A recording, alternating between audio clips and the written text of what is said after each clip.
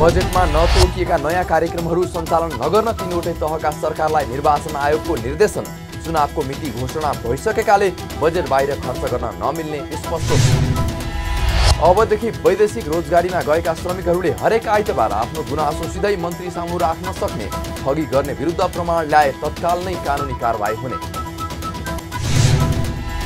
र भारतलाई विद्युत बेचेर विद्युत प्राधिकरणले चालु आर्थिक वर्षको पहिलो महिनामै कमायो झन्डै दुई अर्ब रुपियाँ। थप एक सय एघार मेगावट बिक्रीको प्रस्ताव।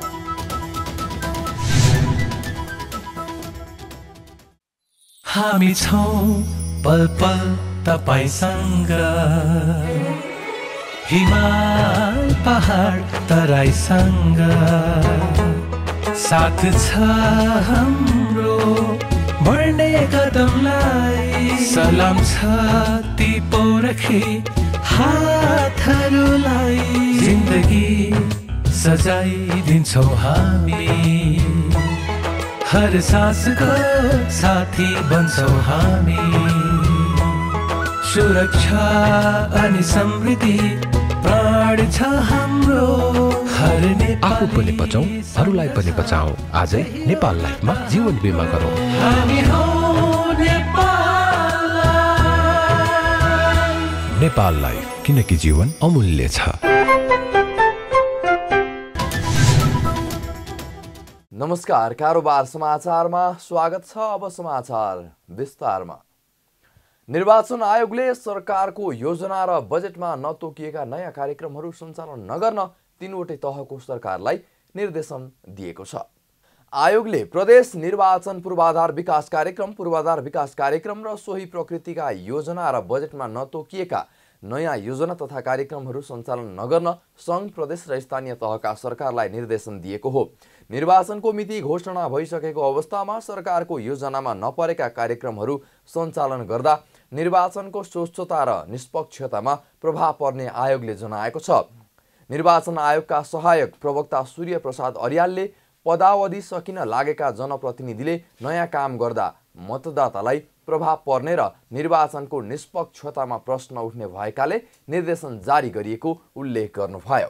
निर्वाचनको मिति घोषणा भइसकेका छ मङ्सिर चार गतेको लागि र यो मिति घोषणा भइसकेको सन्दर्भमा विशेष त सरकारी पक्षबाट अथवा सरकारहरूबाट अथवा तहगतहरू सरकारहरूबाट मतदातालाई अथवा निर्वाचनको निष्पक्षता र स्वतन्त्रतालाई प्रभाव पार्ने गरी कुनै पनि काम गर्न गराउन हुँदैन भन्ने एउटा साझा मान्यता हो र यो अन्तर्राष्ट्रिय विश्वव्यापी प्रचलन पनि हो।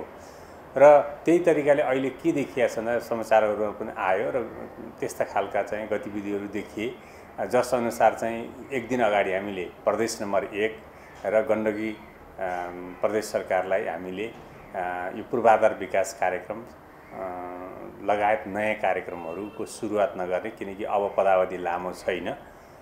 र अब पदावधि लामो नभएका जनप्रतिनिधिहरूबाट वर्षभरि हुने कामहरूलाई अहिले सबै योजनाहरू बनाएर गर्दाखेरिमा त्यसले चाहिँ मतदातालाई तत्काल प्रभाव पार्ने र निर्वाचनको चाहिँ निष्पक्षता र विश्वसनीयतामा प्रश्न चिन्ह खडा हुने भएको हुनाले यस्ता कामहरू नगर्न नगराउन हुनको लागि चाहिँ हामीले निर्वाचन आयोगले स्पष्ट निर्देशन दिएको हो। आयोगका सहायक प्रवक्ता अर्यालले बजेटमा उल्लेख भएका योजनाहरू भने नरोकिने स्पष्ट पार्नुभयो। निर्वाचनको स्वच्छता र पवित्रतालाई कायम गर्नमा आयोगको जोड रहेको उहाँको भनाइ छ। निर्वाचन सबैको लागि समान प्रतिस्पर्धा गर्ने थलो भएको उल्लेख गर्दै उहाँले आयोगले पनि सबैलाई समान व्यवहार गरेको बताउनुभयो। उहाँले नयाँ कार्यक्रम तथा योजना बनाएर मतदातालाई प्रभावित पार्न कसैलाई नदिने समेत स्पष्ट पार्नुभयो। मुख्य कुरा के हो भन्दा अब समय छोटो छ र ती कार्यक्रमले मतदातालाई प्रभाव पार्न सक्छ। मनसाय चाहिँ गलत कसैको पनि नहोस् भन्ने आशयले निर्वाचनको स्वच्छता पवित्रतालाई कायम गर्नलाई आयोगले जोड दिएर गरेको र निर्वाचनमा के भन्ने गरिन्छ भन्दा सबैलाई समान खालको खेल मैदान हुनुपर्दछ। त्यो कायम गराउने दायित्व जिम्मेवारी आयोगको हो। र त्यही कुरालाई मनन गरेर चाहे त्यो सत्तामा बस्ने हुन् चाहे विपक्षमा बस्ने हुन् चाहे स्वतन्त्र रूपले लड्ने जसलाई पनि एक एक खालको अनुभूति के हुनु पऱ्यो भन्दा निर्वाचन सञ्चालन गर्ने निकायहरूले सबैप्रति समान खालको व्यवहार गरेको छ र कसैलाई पनि प्रतिस्पर्धामा फाइदा पुग्ने अथवा घाटा पुग्ने गरी आयोगले काम गरेको छैन र सबैलाई समान खालको चाहिँ अवसर उपलब्ध गराउने कुरामा आयोग दत्तचित्त भएर लागेको छ भन्ने अनुभूति दिनको लागि चाहिँ यस्ता खालका निर्देशन दिइएको हो। सरकारले आगामी मङ्सिर चार गते सङ्घ र प्रदेशको निर्वाचन गर्न मिति तय गरेको छ। यसका लागि निर्वाचन आयोगले आवश्यक तयारीलाई तीव्रता दिइरहेको छ भने निर्वाचन सम्पन्न गर्न करिब एघार अर्ब रुपियाँ बजेट माग गरी अर्थ मन्त्रालयलाई लेखी समेत पठाइसकेको छ।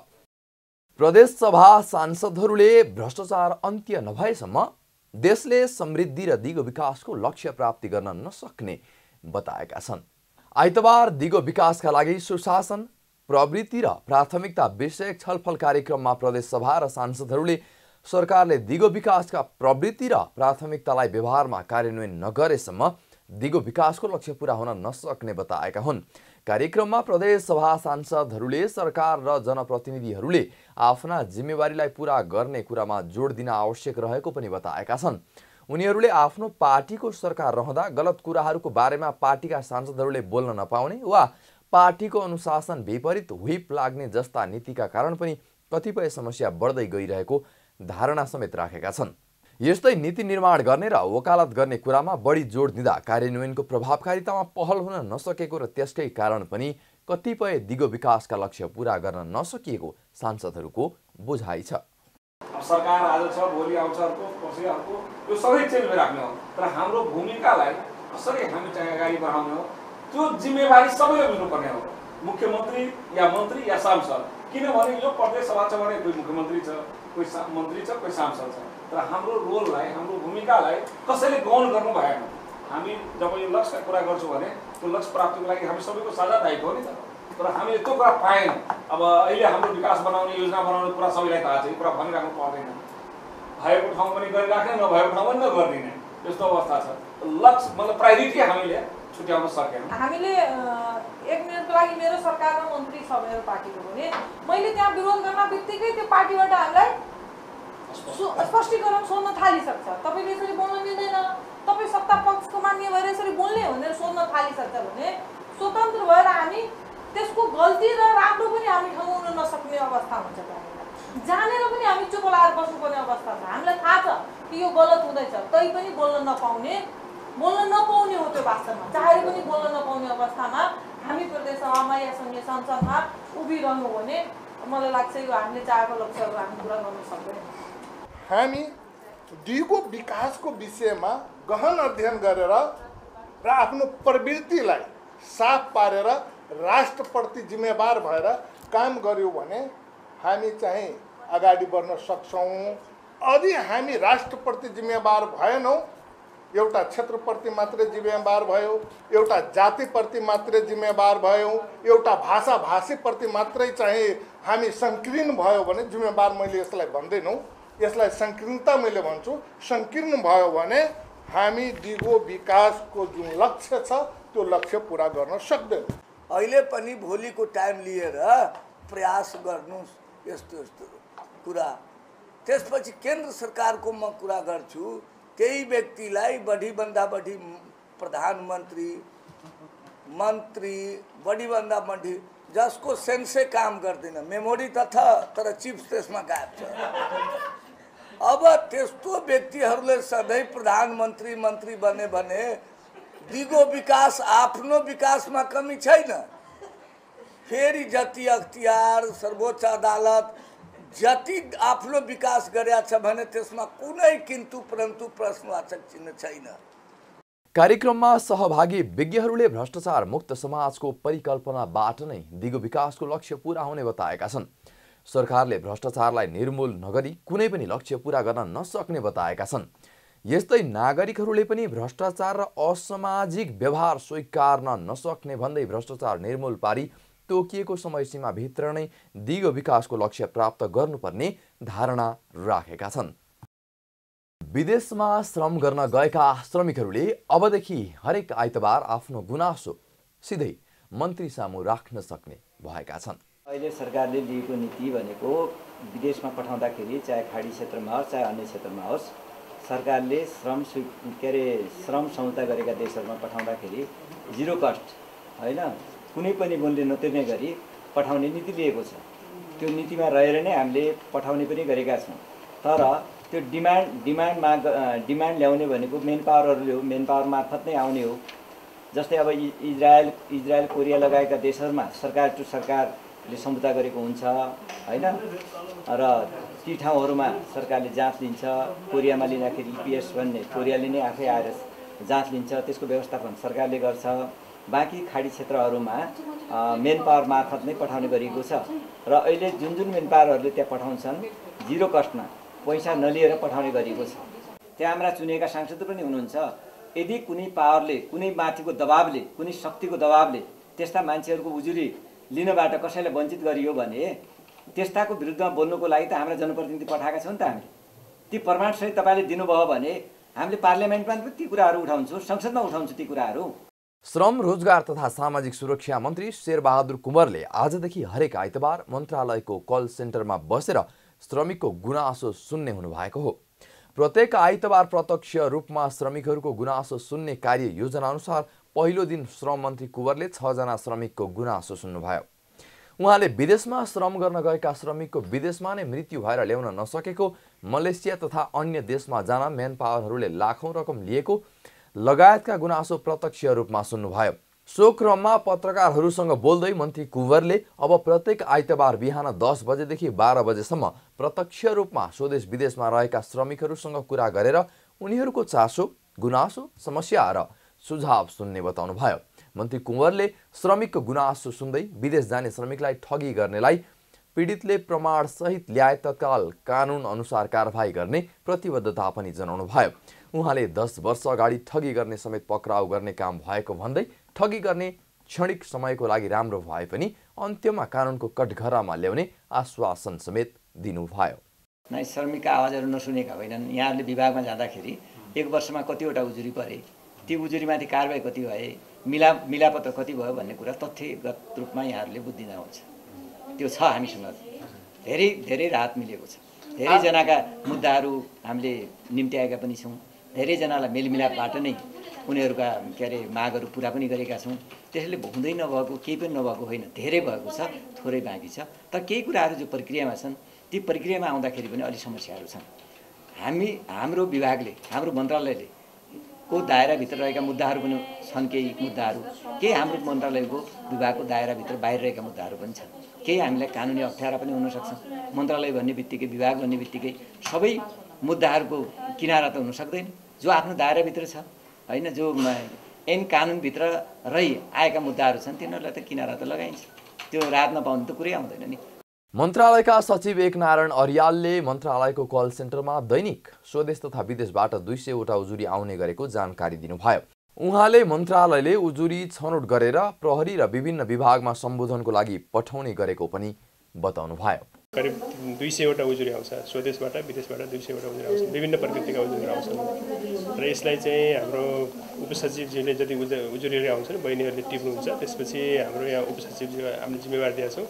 त्यहाँबाट स्क्रिनिङ हुन्छ। त्यो नेपाल प्रहरीमा पठाउने नेपाल प्रहरीमा जान्छ। वैदेशिक रोजगार विभागमा पठाउने वैदेशिक विभागमा जान्छ। श्रम विभागमा पठाउने श्रम विभागमा जान्छ।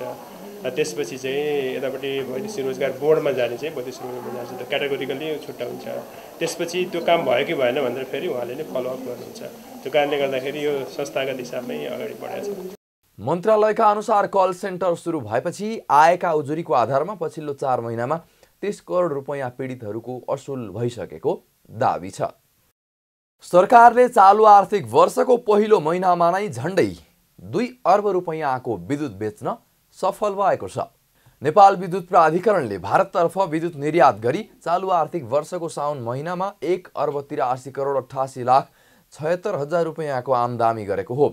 सुरुमा दुईवटा विद्युत गृहको उन्चालिस मेगावट उत्पादित विद्युतलाई स्रोत मानी दैनिक रूपमा आइएक्समा बिक्री गरिएको निगमले त्यसपछि जेठ सत्ताइस गतेबाट दैनिक रूपमा छवटा जलविद्युत गृहबाट उत्पादित विद्युतलाई स्रोत मानि दैनिक रूपमा तिन सय चौसठी मेगावट भारतीय बजारमा प्रतिस्पर्धी दरमा बिक्री गर्दै आएको छ।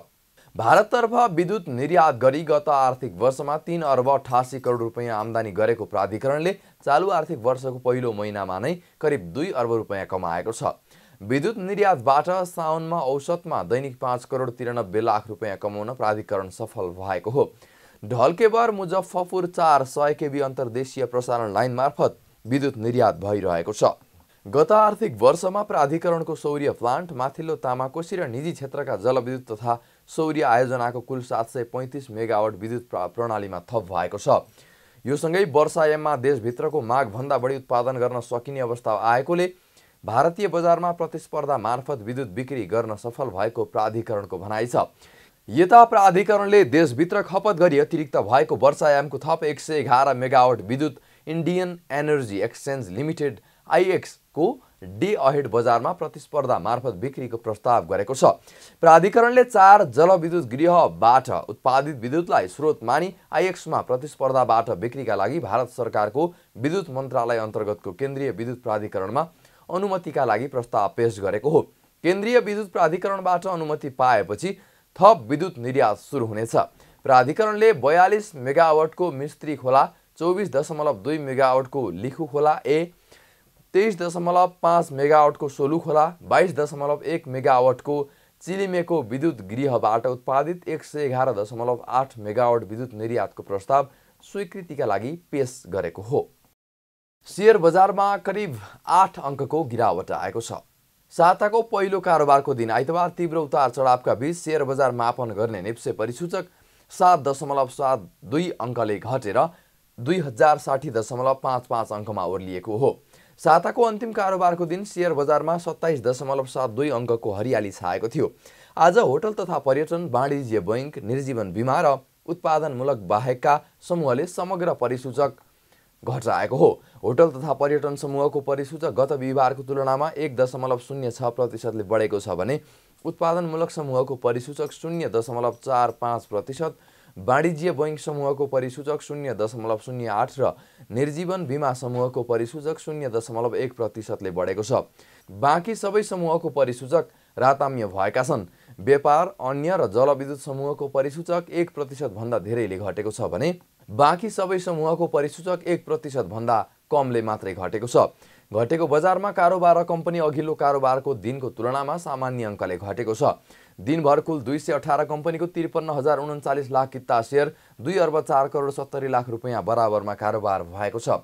यसअघिको कारोबारको दिन एकाउन्न लाख एक हजार किता सेयर दुई अर्ब पाँच करोड उनासी लाख रुपियाँ बराबरमा कारोबार भएको थियो। आज कारोबारका आधारमा रिडी पावर कम्पनी अग्रस्थानमा छ। कम्पनीको बाह्र करोड बढीको कारोबार भएको हो। यस्तै अपी पावर कम्पनीको पनि दस करोड रुपियाँ बढीको सेयर किनबेच भएको छ। आज तिन दिन अघि मात्र बजारमा कारोबार खुलेको मन्दाकिनी हाइड्रो पावरको सेयर मूल्यमा सकारात्मक सर्किट लागेको छ। यस्तै एक साता अघि सेयर बजारमा आएको अपर हेवा खोला हाइड्रो पावरका लगानीकर्ताले पनि करिब दस प्रतिशत मुनाफा आर्जन गरेका छन्। यता रिभर फल्स पावर र हिमालयन हाइड्रो पावरका लगानीकर्ताले भने सर्वाधिक पाँच दशमलव एक नौ प्रतिशतले गुमाएका हुन्। नेपाली कङ्ग्रेसका नेता एवं प्रतिनिधि सभा सदस्य प्रदीप गिरीको राजकीय सम्मानका साथ अन्त्येष्टि गरिएको छ। शनिबार राति नौ तिस बजे ललितपुर भैँसेपाटी स्थित मेडिसिटी अस्पतालमा दिवंगत अध्ययनशील तथा प्रखर समाजवादी चिन्तक गिरीको पार्थिव शरीर कङ्ग्रेसको केन्द्रीय पार्टी कार्यालय सानेपामा विभिन्न दलका नेता तथा उहाँका आफन्त साथै सर्वसाधारणले श्रद्धासुमन अर्पण गरेपछि। पशुपति आर्यघाटमा राजकीय सम्मानका साथ अन्त्येष्टि गरिएको हो। गिरीलाई अन्तिम श्रद्धाञ्जली दिन प्रधानमन्त्री शेरबहादुर देउबा पूर्व प्रधानमन्त्री केपी शर्मा ओली गृहमन्त्री बालकृष्ण खाँड सरकारका मन्त्रीहरू सांसद र सर्वसाधारण आर्यघाट पुगेका थिए। गिरीलाई उहाँका छोरा सन्तोष गिरी र भतिजाहरू प्रणयन गिरी र सन्दर्भ गिरीले दागबत्ती दिनुभएको हो। यसअघि नेपाली कङ्ग्रेस सभापति समेत रहनुभएका प्रधानमन्त्री देउबा उपसभापति पूर्णबहादुर खड्का महामन्त्री गगन कुमार थापा नेता रामचन्द्र पौडेल लगायत नेताहरूले उहाँको पार्थिव शरीरमा माल्यार्पण गर्नुका साथै पार्टीको झण्डा उडाएका थिए। सो क्रममा विभिन्न राजनीतिक पार्टीका नेताहरूले काङ्ग्रेस नेता एवं प्रतिनिधि सभाका सदस्य गिरीको निधनबाट मुलुकमा अपूरणीय क्षति भएको प्रतिक्रिया दिएका थिए। प्रदीप गिरी बहुआयामिक व्यक्तित्व हुनुहुन्थ्यो। त्यस्तो व्यक्तित्व यदाकदा मात्रै हामीले प्राप्त गर्छौँ। र थोरै सङ्ख्यामा त्यस्तो व्यक्तित्वहरू चाहिँ हुन्छ। त्यस अर्थमा मलाई लाग्छ यो नेपाली काङ्ग्रेस पार्टीको लागि पनि अपूरणीय क्षति हो र देशैको लागि पनि अपूरणीय क्षति हो। नेपाली काङ्ग्रेसका नेता प्रतिनिधि सभाका सदस्य तथा बौद्धिक व्यक्तित्व प्रदीप गिरिजीले नेपाली राजनीतिमा निकै ठुलो छाप छोड्नु भएको थियो र उहाँले जुन किसिमले आफ्नो सिद्धान्तमा अडिग भएर लोकतन्त्रको लागि काम गर्नुभयो उहाँलाई एउटा बौद्धिक र लोकतन्त्रको लागि निरन्तर सङ्घर्ष योद्धाको रूपमा म उहाँको स्मरण गर्छु र यो अहिले उहाँको जसरी निधन भएको छ त्यसमा दुःख प्रकट गर्दै उहाँप्रति म हार्दिक श्रद्धाञ्जली र उहाँका शोक सन्तप्त परिवारजनमा गहिरो संवेदना व्यक्त गर्न चाहन्छु। नेपालको राजनीति र सामाजिक रूपान्तरणको अभियानमा एउटा निकै ठुलो क्षति भएको मैले महसुस गरेको छु। उहाँ एउटा विशिष्ट प्रतिभासहितको साम समाजवादी चिन्तक हुनुहुन्थ्यो र उहाँले बहुपक्षीय रूपमा नेपाली समाजको रूपान्तरणको निम्ति काम गर्नुभयो। र उहाँको बौद्धिक व्यक्तित्व र उहाँको तर्कशीलता हामी सबैको निम्ति प्रेरणाको स्रोतको रूपमा सदा रहने मैले विश्वास लिएको छु। सुशासनको मान्यतालाई ग्रहण गरेर देशलाई र जनतालाई सकारात्मक दिशामा अघि बढाएर जानलाई लागिरहन् यो नै उहाँप्रति सच्चा श्रद्धाञ्जली। हुन सक्दछ उहाँ चाहिँ दलबाट पार्टीभन्दा पनि माथि उठेर देश र जनताको लागि सोच्ने नेता हुनुहुन्थ्यो र आदर्शवादी नेता हुनुहुन्थ्यो यो नेपाली नेपाल र नेपालीको लागि अपूर्णीय क्षति हो। र जहिले पनि नेपाली जनताले प्रदीप गिरी जस्तो नेतालाई सम्झिरहनेछ र यो हाम्रो लागि उहाँ एउटा आदरणीय पात्र हुनुहुन्थ्यो काङ्ग्रेस नेता एवं प्रतिनिधि सभा सदस्य गिरी घाँटीको क्यान्सरबाट पीडित हुनुहुन्थ्यो। प्रखर समाजवादी चिन्तक नेता गिरीको पचहत्तर वर्षको उमेरमा निधन भएको हो। उहाँ दिवंगत भएसँगै आज बोलाइएको प्रतिनिधि सभा बैठक पनि स्थगित गरिएको छ। कारोबार समाचारमा अब सुन चाँदी र विदेशी विनिमय दर सम्बन्धी जानकारी।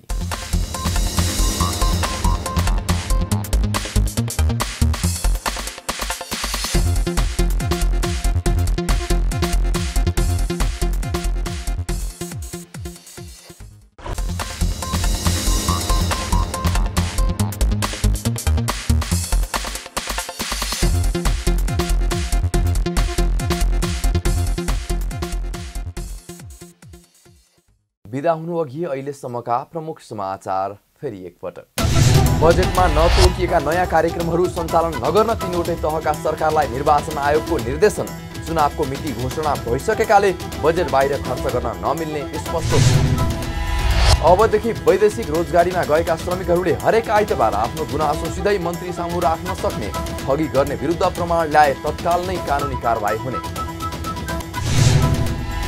र भारतलाई विद्युत बेचेर विद्युत प्राधिकरणले चालु आर्थिक वर्षको पहिलो महिनामै कमायो झन्डै दुई अर्ब रुपियाँ थप एक सय एघार मेगावट बिक्रीको प्रस्ताव।